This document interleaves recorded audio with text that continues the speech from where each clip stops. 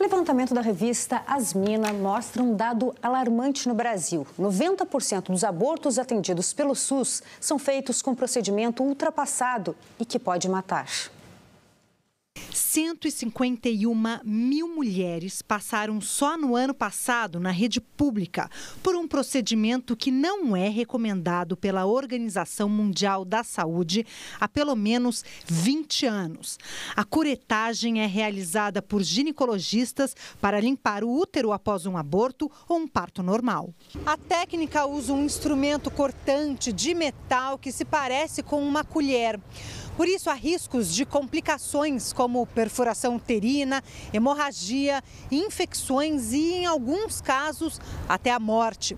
Segundo dados do Ministério da Saúde, nos últimos 10 anos, 500 mulheres morreram em decorrência desse tipo de procedimento. Existem outras medidas que podem substituir a curetagem de forma segura.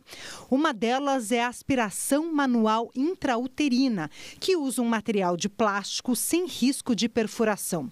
Só que o aparelho está em falta nos hospitais públicos do país e não são todos os médicos que estão aptos para fazer o procedimento a gente faz o que é possível para que, pelo menos, a residência, os médicos sejam treinados.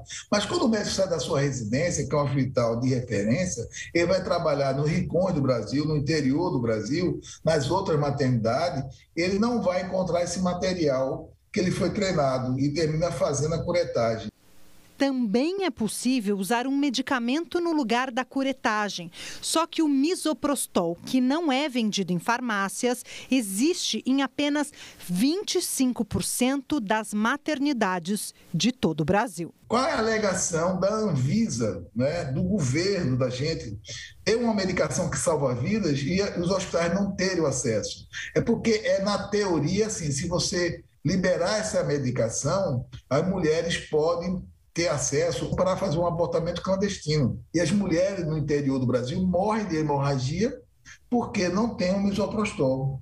Por uma questão ideológica, nós matamos nossas mulheres no Brasil.